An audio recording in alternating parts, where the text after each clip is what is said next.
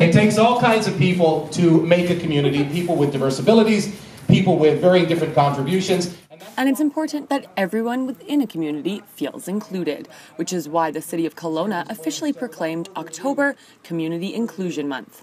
It takes all different types of people to make a community. It takes people with different abilities, people who make different contributions. And, you know, Pathways is an organization that supports the needs of people with diverse abilities, helps provide employment opportunities for them. The term diverse ability was coined right here in Kelowna by Shelley DeCoste, an employee of Pathways for three years, who no longer wants to be referred to as disabled, when in fact she is very able to do many things.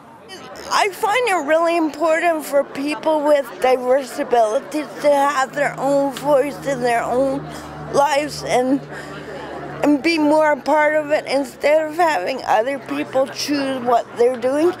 Be, be involved with their life and let them choose what they want to do.